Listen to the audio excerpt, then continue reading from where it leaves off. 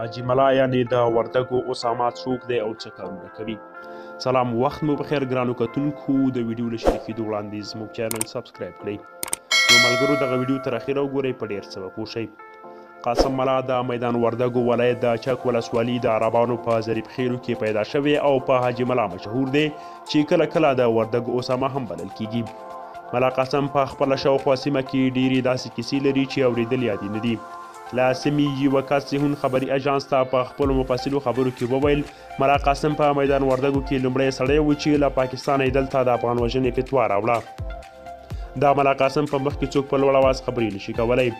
په سړک کې پیسې اخلي له بندیانو څخه یې اخلي د اختطاف ډله لري او له خلکو چې کوم عشر ټولوي نیمه برخه د کویټې شورا ته لیږي نیمه د دوي په 2015 کال کې راپورونه خپاره شو چې د کلیو او پراختیا وزارت د یولسو لکو په پروژه کې څلور لکه دوبه اخیستي او دی ځکه دومره مهم دی چې وایي له لویه سره یې پلار و نیکه د کندهار اوسېدونکي وه او له هماغې لارې یې د کویټې له شورا سره پخې اړیکې لري ملا قاسم تعلیم نه دی کړی خو ویل کیږي چې د خپل خونړي طبیعت په وجه په سیمه کې د زور او ځواک څښتن شوی دی. د سیمې اوسیدونکي چې د نوم نه څرګندولو پر بنسټ معلومات راکول وویل، حاجي ملا په دوه زره پنځلسم کال کې په ابکزار کې یوه ښکلې او معصومه نجلۍ په سترګه کړې وه، دستي یې د هغې پلار وګواښه او نجلۍ کور ته راوستله، اوس یې دویمه مېرمن ده. په سیمه کې اوسیدونکي د ده په هکله بېلابېلې پوښتنې لري. ویل کیږي چې دی د طالبانو د پیدایښت له وخته جنګیږي خو ولې نه دی وژل شوی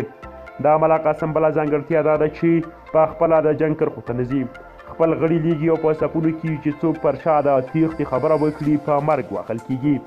ملا قاسم د میدان وردګو د چک ولسوالي اړوند د عربانو د سیمې په ظریف خېلو کلي کې اوسېږي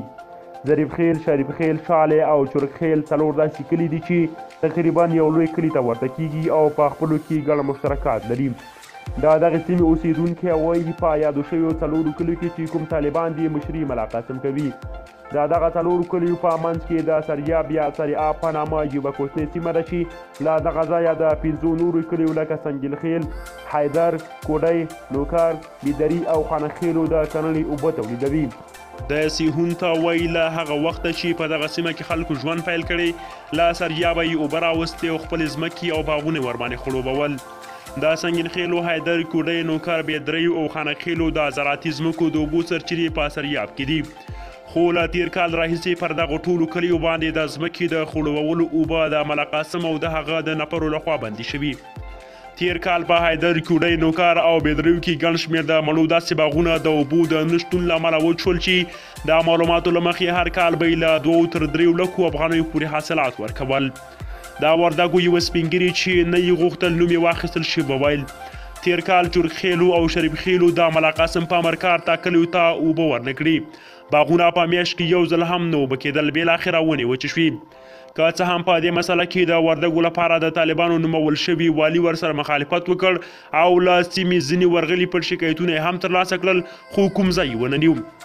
والي ویلي و چې پر ملا قسم باندې په محکمه کې عریضه وکړي خو سرچینه وایي هلته محکمه څرنوالي او حکومت د ملا قسم په لاس کې دي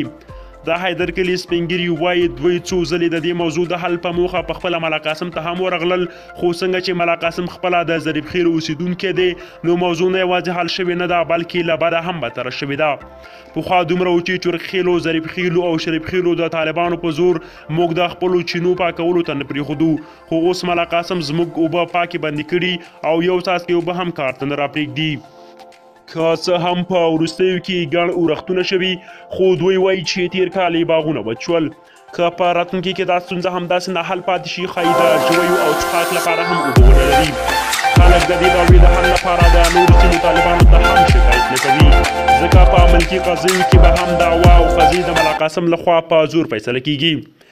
له سیمې معلومات وایي د ملا قاسم ورور په دوبۍ کې لوی تجارت لري